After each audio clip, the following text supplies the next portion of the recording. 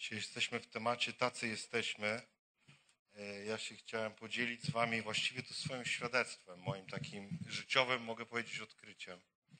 E, Werset przewodni e, na początek to pewnie wszyscy znają hymn do miłości zapisany w pierwszym liście do Koryntian. On tak się kończy. Tak więc trwają wiara, nadzieja, miłość. Te trzy. Największa z nich jednak jest miłość. To będzie werset, który nam, e, nas będzie prowadził. Ale na sam początek anegdotka. Anegdotka za, zasłyszana w filmie dokumentalnym e, Komunia, e, gdzie młody chłopiec szykuje się do, do pierwszej komunii świętej i warunkiem dostania się do tej komunii jest znajomość katechizmu. I uczy się między innymi, co to jest e, grzechy, jakie są grzechy główne. No i uczy się pycha, chciwość, nieczystość, zazdrość, no i dochodzi do obżarstwa. A że jest z rodziny takiej, gdzie się nie przelewa, to dochodzi do wniosku obżarstwo? Nie, no to jest coś dobrego, to jest coś fajnego, to nie jest grzechem. Obżarstwo jest dobre. Później uczy się o cnotach boskich. Wiara, nadzieja i miłość. Mówi miłość? Tam się całują, to jest grzech. Więc trzy cnoty boskie to wiara, nadzieja i obżarstwo. I dzisiaj chcę mówić e, właśnie o tych trzech rzeczach, e, ale też chciałbym złamać może pewien taki stereotyp, który każdy ma gdzieś w głowie, tak jak ten chłopiec miał w głowie, tak ja też. E, chciałem o tym mówić. Tak więc wiemy, że trwają ze sobą, trwają wiara, nadzieja i miłość. I to są takie jakby fundamenty, taki statyw, podstawa duchowego życia. Nie bez przyczyny są może trzy, żeby, żeby ten statyw się dobrze trzymał, żeby, żeby fundament był solidny. Wiara, wiara jest pewnością tego, czego się spodziewamy, czyli takim przeświadczeniem o tym, czego, co ma nadejść, czego jeszcze nie widzimy. Ale wiemy też, że przez wiarę poznajemy rzeczy, że do, doświadczamy pewnych rzeczy, że odkrywamy pewnych rzeczy, pewne rzeczy. Nadzieja. Tak naprawdę dość ciężko ją zdefiniować, ale tak sobie pomyślałem, że jeżeli to jest wiara, jeżeli to jest miara naszej wiary, a to jest oś naszych czasów, w którym żyjemy, to nadzieja jest taką wiarą, ale rozciągniętą w czasie. O nadziei mówimy w przypadku, kiedy coś ma nadejść, kiedy coś jest odległe, kiedy coś jest takie jeszcze nie, niedoścignione, kiedy coś jest blisko, kiedy coś jeszcze własnymi siłami próbujemy złapać. Mówimy, że w to wierzymy, ale kiedy czasami nawet wiary już nie ma, to mówimy, że, że jest nadzieja. Także mamy wiarę, nadzieję, a z tego wszystkiego, jak czytamy, największa jest miłość.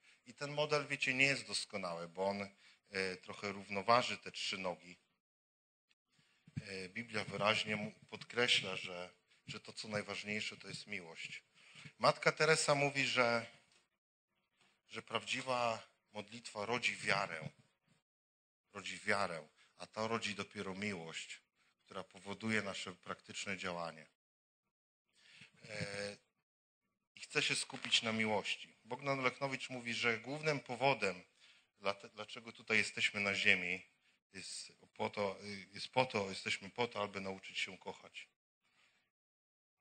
Naszym głównym powodem, dlaczego jesteśmy na ziemi, jest to, żebyśmy nauczyli się kochać. Czyli wszystkie nasze doświadczenia, nasza ta podróż życiowa jest po to, żebyśmy się stali podobni, żebyśmy się stali przez własny wybór podobni do, do tego, który nas stworzył, a który, jak czytamy, jest miłością. I chcę to oprzeć na, na swoich doświadczeniach, na swoim świadectwie.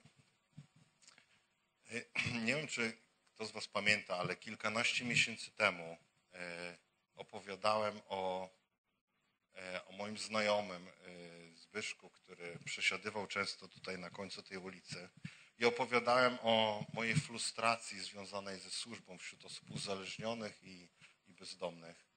E, Kto miał z tym cokolwiek do czynienia, a pewnie wielu z nas miało, e, to wie o czym mówię, że szczególnie w życiu alkoholika jest taki moment, gdzie, e, gdzie otoczenie próbuje pomóc, e, próbuje ze wszystkich sił cokolwiek zrobić. Nawet jedni mają większe szanse, drudzy e, mniejsze możliwości pomocy, ale kiedy się próbuje i ta osoba non-stop traci wszystkie możliwości i, i, i, i odrzuca, odrzuca pomoc. I przychodzi taki e- element, moment zupełnej frustracji, e, kiedy człowiekowi opadają ręce. Wiele osób, wiele osób się zniechęca, wiele osób kładzie tak zwany krzyżyk na, na te osoby uzależnione. E, I ja w moich kontaktach ze Zbyszkiem doszedłem do tego pułapu. Doszedłem do pułapu, kiedy ręce mi po prostu opadły i o tym opowiadałem. I to było dość dawno temu, ale mówiłem o tym, że po prostu postanowiłem go kochać, że nie jestem w stanie nic dla niego zrobić. Znaczy może jestem w stanie, ale on tą pomoc odrzuca, ma, ma swoje, swoje wybory, swoją ścieżkę. Postanowiłem po prostu czasami się koło niego zatrzymać, z nim porozmawiać, być z nim, przynieść mu herbatę, nic więcej. Po prostu postanowiłem, zdecydowałem, to nie była emocja, to był wybór mojego serca, za którym dopiero szły emocje. Postanowiłem go po prostu kochać. Wiecie, i to, i to mówiłem kilkanaście miesięcy temu i e, później wydarzyły się szereg rzeczy, które, które z tej perspektywy wcześniejsze były nie do pomyślenia. Zbyszek się niesamowicie ogarnął. Dzisiaj wynajmuje mieszkanie za kilkaset złotych, kiedy kiedyś stracił za, miał za 100 złotych mieszkanie je stracił. E, praktycznie normalnie funkcjonuje. I z perspektywy, wiecie, tej wcześniejszej, to wydarzył się cud. Wydarzył się cud. Po pierwsze, wydarzyło się to, że kiedy zdecydowałem się go kochać, to uwolniłem się od jakiegoś obciążenia, od, od jakiejś takiej troski, od bezradności tego, że nic nie jestem w stanie zrobić, że nie jestem w stanie mu pomóc, a nawet jeżeli jestem, to on tą pomoc odrzuca i po prostu nie było owoców. Nie było owoców, e, żadnych owoców tych, tego mojego starania. I w momencie, kiedy wiara umarła, moja wiara umarła, moja wiara w ten proces resocjalizacyjny, wiara w to, że ja coś mogę, umarła. Została tylko nadzieja, ta kreska, odległa nadzieja, ale to położono już bardziej w Bogu, nie w moich możliwościach, ani w ludzkich możliwościach. Na, na tej linii nadziei po, położyłem miłość do tego człowieka i to przyniosło, to przyniosło owoc.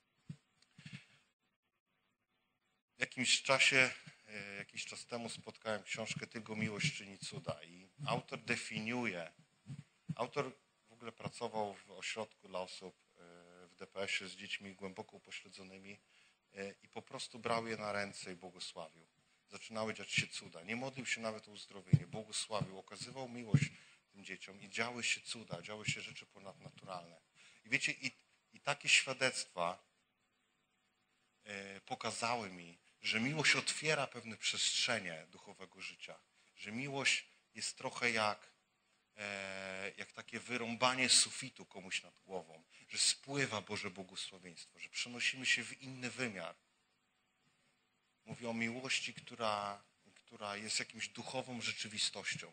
Nie mówię, wiecie, o jakimś tam. Mamy, mamy wyobrażenie takie walentynkowe, trochę różowe serduszka, e, kwiatki i, i brazylijski film. Nie o tym mówię. Kolejne świadectwo, e, to świadectwo sprzed e, miesiąca, e, kiedy po pomoc zgłosił się Janek. Janek jest mniej- więcej w moim wieku, zgłosił się ze swoimi dwoma kolegami. I został uruchomiony cały proces, żeby Jankowi znaleźć, znaleźć ośrodek, badania lekarskie, dokumenty itd., itd. To trwa. I w pewnym momencie, kiedy, kiedy już było kilka dni do wyjazdu, zobaczyłem Janka, jak wychodzi, e, już był mróz wtedy, to, był końcówka, to była końcówka grudnia. Wychodzi, Jan, y, wychodzi z jakiejś totalnej rudery gdzieś na obwodnicy miasta. Przez tak zwany przypadek to zobaczyłem.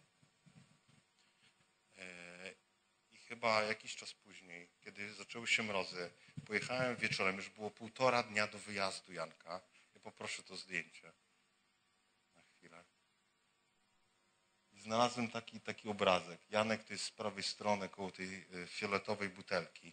obok pali się świeczka, którą się parę godzin później podpalił. E, był mróz. Dzięki za to zdjęcie.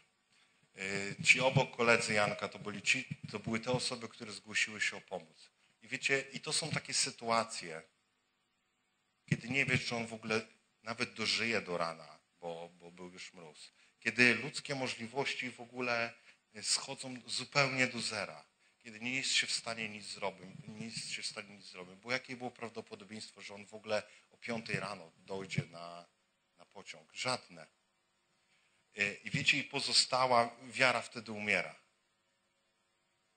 Wiara e, w jakiśkolwiek to, co, to, co ja wierzyłem, jak to, jak to się potoczy, jak to myślałem, że to się potoczy, to w ogóle umarło. I pozostaje, jedyne co pozostaje, to e, modlitwa błogosławieństwa tych ludzi z miłością. Że decyduje się pomimo wszystko, pomimo tej beznadziei tej sytuacji, po prostu ich kochać. Ktoś mi powiedział, że miłość nie jest praktyczna.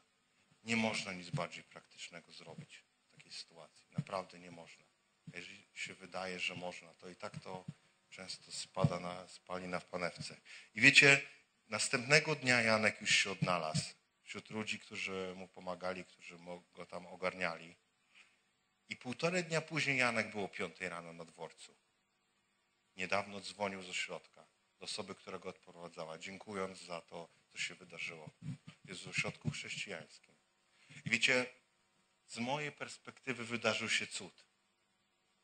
Z mojej perspektywy wydarzył się cud. Kiedy moje możliwości zjechały do, do zera.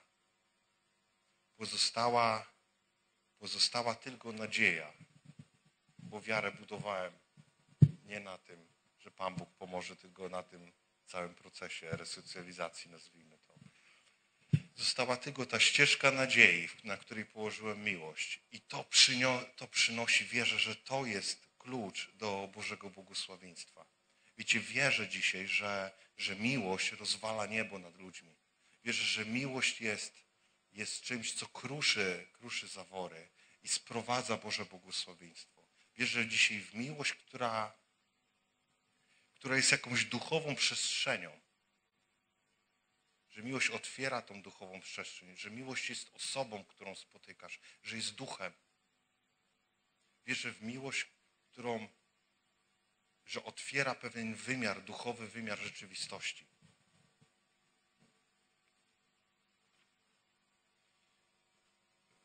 W liście Jana jest napisane, kto nie miłuje, pozostaje w śmierci. Wierzę, że, no, że po prostu to jest duchowa rzeczywistość. Wierzę też, że, że to jest duch życia. Kto nie miłuje, pozostaje w śmierci. Czyli miłość jest duchem życia. I w przypadku Janka, szkoda, że nie mam jego zdjęcia z wczoraj, to jest duch życia. To jest duch życia. Kiedy moje możliwości umierają, kiedy, kiedy okoliczności sprawiają, że, że tak naprawdę tracisz wiarę, a często też i nadzieję, często też i nadzieję, to, to wtedy możesz Możesz położyć tą resztkę tego, co masz na, na tej Bożej ścieżce, ale już na nadziei w to, że Pan Bóg coś zrobi. Jak? On wie jak. Kiedy umierają nasze możliwości. I wiecie, zacząłem cofać się w swoje przykłady ze swojego życia. I zobaczyłem tą prawidłowość. Kiedy moje możliwości umierały, zaczynałem kłaść wtedy nadzieję w Bogu. Dopiero kiedy nie było innych rozwiązań, zacząłem kłaść nadzieję w Bogu. I wtedy coś zaczynało zaczynało się dziać. Taka Boża atmosfera. Wierzę, że, yy, że to my mamy decyzję, my decydujemy o tym, że, że jest Boża atmosfera, że, że naszą decyzją, kiedy decydujemy się po prostu kochać, stwarzamy pewną taką przestrzeń. Yy, ja to mówię tak trochę dowcipnie kiedy posłańcy i aniołowie dopiero wtedy mogą przyjść, bo oni oddychają tą miłością. Bo oni są z tej samej substancji, co Bóg, a Bóg jest miłością. I oni są tą substancją. I nawet jeżeli mamy wiarę i mamy nadzieję, ale jeżeli nie mamy miłości, to oni przychodzą i nie mają czym oddychać. Tak sobie to obrazowo mówię. Nawet jeżeli masz wiarę, to, to jakby ograniczysz działanie tym posłańcom. Jest fragment, który o którym mówi Jezus, o cokolwiek byście się modlili w moim imieniu. E, można by się zastanawiać, co to znaczy modlić się w imieniu Pana Boga. Jakie jest Jego imię? Jaka powinna być ta, e, ta modlitwa? W Ewangelii Jana czytamy i objawiłem im imię Twoje, mówi Jezus, objawiłem im imię Twoje i objawię, aby miłość, która mnie, którą mnie umiłowałeś, w nich była, a ja w nich. Wierzę, że Pan Bóg tak, tak, takie ma imię, taką ma osobowość, że jest miłością, że właśnie nasza, nasza modlitwa powinna być w tym ugruntowana. Miłości. O cokolwiek byście się prosili w imię moje. Że naszym zadaniem e, tutaj na ziemi jest to, abyśmy się tego nauczyli. Żeby nasza miłość była zbudowana wiarą, ale osadzona w nadziei. Ale w nadziei nie we własne możliwości i rozwiązanie tego problemu, ale w tą nadzieją, którą jest Bóg. Nawet kiedy kończą się nasze, e, nasze możliwości. No i ciekawe jest to, że że te moje świadectwa, jak ja zwróciłem na to uwagę, przychodzą wtedy, kiedy jest zupełna bezradność, kiedy, e, kiedy ja nic nie mogę. Przychodzi mi nawet e, fragment, kiedy Mojżesz, który kochał swój, swój lud, chciał za niego zawalczyć, chciał coś zrobić, robił coś po swojemu. Skończył wiemy jak, jako uchodźca na pustyni, wygnaniec, ale jednak chciał jego motywacją była miłość do, e, do swoich ludzi. I Pan Bóg do niego mówi: Zdejmij sandały swoje, bo ziemia, na której stoisz, jest święta. Wiecie, te nasze do, często doświadczenia, e, nieudolne próby, kiedy, kiedy kończymy tak może jak Mojżesz na wygnaniu, kiedy kończymy z porażką, kiedy umiera wiara w rozwiązanie tego sytua- tej sytuacji Myślę, że on był w, taki, w takim miejscu. Kiedy wszystko umiera, to Bóg przychodzi i mówi, to jest ziemia święta. To jest ziemia święta. Te, ta pustynia, to wygnanie, ta beznadzieja i to, kiedy już nic nie może zrobić, często jest ziemia święta. Bo wtedy potrafimy położyć swoje zaufanie, swoją nadzieję na, na Bogu. Kiedy kończą się nasze możliwości, potrafimy położyć e, naszą nadzieję w Bogu. I wtedy dopiero odkrywamy, kim On chce być dla Ciebie w tej sytuacji. Kiedy jesteś, może jesteś w takiej sytuacji, kiedy, kiedy twoim, Twoje starania umarły o osobę czy o cokolwiek innego, kiedy Twoje nadzieje, oczekiwania umarły, to wiedz, że jest to ziemia święta, że że Bóg może się objawić, że chce, żebyś odkrył, kim On chce być dla ciebie w tej sytuacji. Że dopiero teraz możesz położyć swoją nadzieję w Nim, nie we własnych możliwościach, nie, nie w tym, że ktoś ci pomoże albo jakieś wydarzenia będą, tylko w Nim, w Nim nadzieję. Wiarę, która jest podbudowana, miłość, która jest podbudowaną wiarę, położyć i to wszystko położyć na nim. I wierzę, że jest to miejsce, yy, że jest to Boże miejsce. Często, kiedy tracimy, kiedy tracimy już grunt pod nogami pokładamy wszystko w Bogu. Wiecie, tak sobie myślę, że miłość jest też takim, jest taką, taką rzeczą, którą jedyna yy, możemy, jedyną, którą jest warto inwestować. Bo zobaczcie, co po nas przemija co po nas pozostaje. Wszystko przemija. Jakbyś się zapytał, kto jest w stanie wymienić chociażby imiona swoich pradziadków, to pewnie nikt by nawet tego nie umiał zrobić. Nawet pamięć o nich przeminęła, a to są wasi najbliżsi. Macie ich DNA. Nawet pamięć przeminęła. To samo będzie z nami. Nic po nas nie zostaje. Chyba, że jesteś wnuczkiem jakiejś znanej postaci. Wszystko przemija. Jedyne, w co możesz zainwestować, to jest miłość. Jedyne, co się liczy w Bożym Królestwie, to jest miłość. E, I mam jeszcze jedno świadectwo. Tym razem nie moje. E, ale z tego tygodnia. moja dobra znajoma jest wiele lat, kilkanaście lat po rozwodzie. E, Mąż zostawił ją z potwornymi długami, e, z dziećmi małymi na wychowanie, w sytuacji w ogóle totalnie beznadziejnej. Ona do dzisiaj, do dzisiaj nie jest w stanie w ogóle spłacić e, tych kredytów. Wiecie, całe życie z małymi dziećmi, gonienie się z, z komornikami i tak dalej. E, On się jakoś tam ustawił, ale nie uczestniczył w wychowaniu tych dzieci. E, I ona po latach dowiaduje się, że on jest ciężko chory na nowotwór, że już jest stan bardzo poważny. Wiecie, i w tym tygo, w zeszłym tygodniu, który był, zdecydowała się pojechać ze swoim synem do niego przez kawał Polski.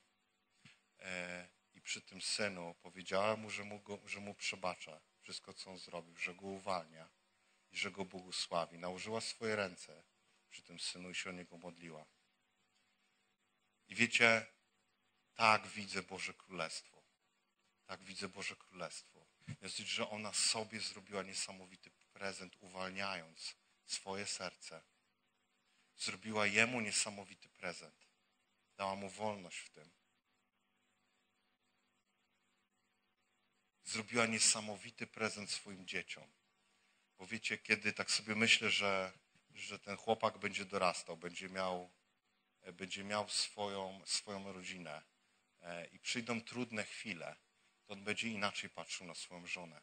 Ten obraz matki, która błogosławi, e, błogosławi tego, tego mężczyznę, to zostaje, takie rzeczy zostają do końca życia. On zrobił, ona zrobiła prezent całej rodzinie. Dała Boże Królestwo. I tak sobie myślę, że czasie wychowania e, to nie pozostaje bez, e, bez echa, że jej wnuki dziś też to odziedziczą. To był gest, który wylał błogosławieństwo na całą rodzinę. Dał pokój, wolność, ale też wierzę, że otworzył, otwiera, że takie gesty otwierają niebo, że przyczyniają się do wylania Bożej chwały. Łatwo jest kochać, kiedy ma się 18 lat, są walentynki i dostaje się czerwone kwiatki. Trudniej jest w takiej sytuacji, ale miłość to nie jest uczucie. Miłość to jest decyzja. Miłość to jest decyzja, którą masz osadzić na, na Bożej nadziei. Nie w nadziei na swoje rzeczy, tylko w Bożej nadziei. I którą masz budować wiarą. Wiarę trzeba budować, pielęgnować, karmić słowem. I wiecie, nic po nas nie zostanie, ale tylko na ziemi. Tak naprawdę jesteśmy duchami. Tak naprawdę jesteśmy duchami. I mówię o pewnej duchowej rzeczywistości, w którą, którą mamy się teraz nauczyć. To jest nasze zadanie tutaj na ziemi. Nasze zadanie numer jeden. Znaleźć tą przestrzeń. Znaleźć tą przestrzeń i nakarmić naszego ducha tą miłością.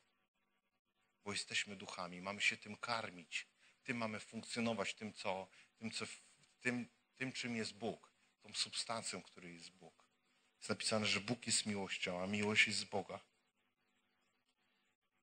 Heidi Baker, która usługuje, e, usługuje wśród dzieci e, sierot Mozambiku, mówi, że znajduje Chrystusa w twarzach dzieci. Że kiedy okazuje miłość, kiedy pomaga tym, tym ludziom, widzi Chrystusa w ich twarzach. I myślę, że to jest może to trochę głupio zabrzmi, bo słyszymy, słyszymy ciągle, że coś jest do czegoś kluczem. Ale dla mnie kluczem do Bożej, Bożej rzeczywistości jest miłość.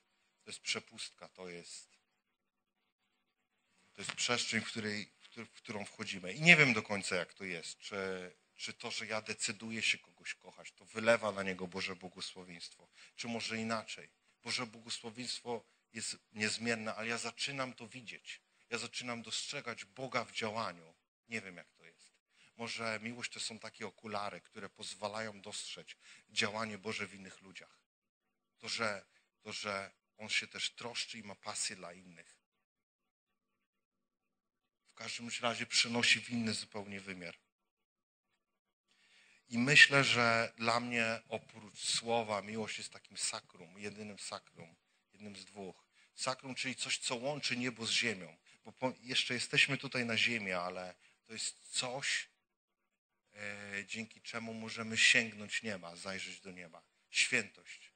pomimo że w ciele, pomimo że jeszcze tutaj na ziemi, to możemy doświadczyć tej świętości. Ale sama wiara i nadzieja nie wystarczy.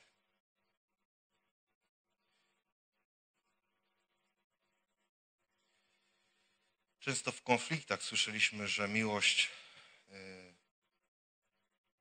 rację ma ten, kto kocha bardziej. Yy, I ja w to wierzę, że, że miłość jest też argumentem prawdy. Że miłość jest argumentem prawdy. I wiecie, tata nas stworzył tak, że, że jesteśmy razem i chcemy być razem. Każdy z nas osobno mógłby, nie wiem, moglibyśmy sobie zrobić transmisję przez internet i każdy w swojej norze e, by oglądał tutaj transmisję, e, a tutaj by było pięć osób i, i było. Ale chcemy być razem. Chcemy tutaj przyjść, pomimo że jest taka pogoda. Chcemy usiąść koło siebie. Te krzesła są wystawione obok. W tej kawiarni będziemy siedzieć razem. Wrócimy większość z nas do domów, w którym ktoś mieszka. Chcemy być razem. Tak jesteśmy stworzeni, bo On tak jest. Bo On taki jest i On tak nas stworzył, takimi, takimi nas ulepił na swój obraz i podobieństwo. I naszym zadaniem jest, naszym zadaniem jest nauczyć się z tego korzystać, zauważyć drugą osobę, zauważyć drugą osobę, tą, którą spotykasz na swojej drodze. I wiecie, to nie jest przypadkowe, kogo spotykamy. To nie jest przypadkowe, kogo spotykamy. No i mam wyzwanie yy, dla Was. Właściwie dwa wyzwania na koniec.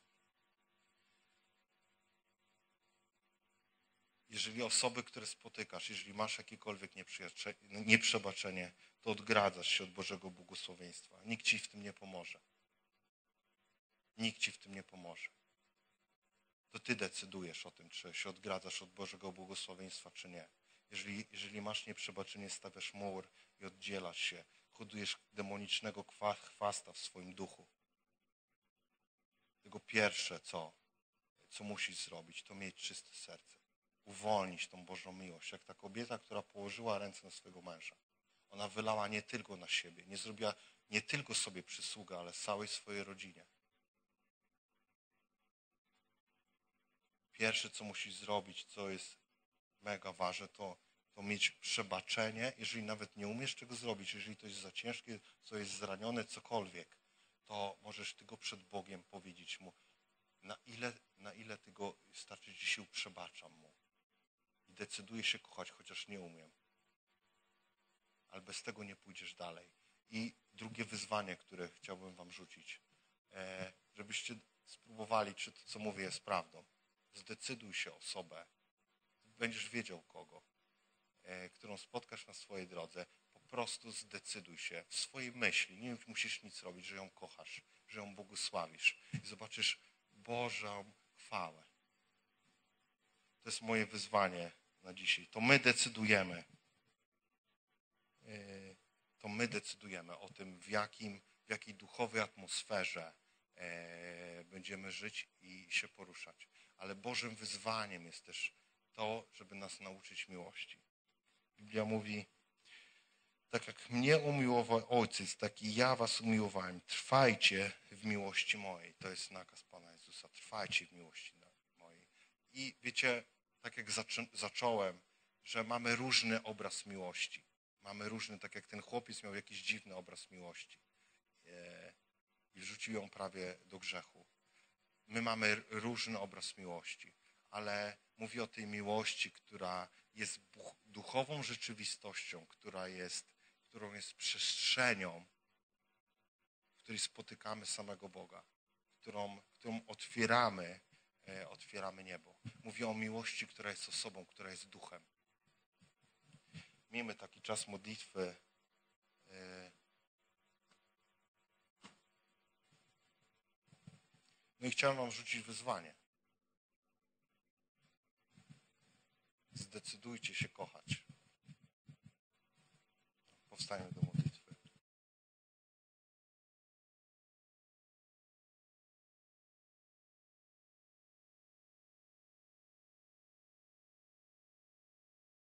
Panie, dzięki Ci, że jesteś dobry, Panie. Dzięki Ci, że za to, że jesteś wypełniony miłością. Dzięki, że Twoje imię to miłość, Panie. Dzięki Ci, że, że to jest dla nas, że możemy poruszać się w tej przestrzeni, że, że otwierasz nam niebo, Panie.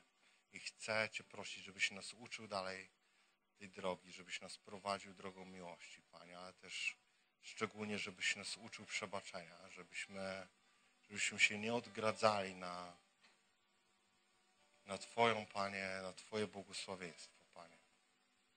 Ucz nas i prowadź, Panie, Twoją drogą, Panie, żeśmy mogli sięgać nieba dzięki Tobie, Panie. Prowadź nas w przestrzeń, Panie, gdzie Ty jesteś obecny, gdzie Ty jesteś taki namacalny, gdzie, gdzie jesteśmy, Panie, w tacy wyluzowani w Tobie, ale też pełni, pełni miłości do siebie nawzajem, Panie. Dzięki Ci, Panie, że Ty mówisz, że nas, po, że nam pomagasz, że nas nie potępiasz, Panie, ale też proszę Cię, żebyś nam, nas uczył zrobić ten kolejny krok w Twoją stronę, Panie.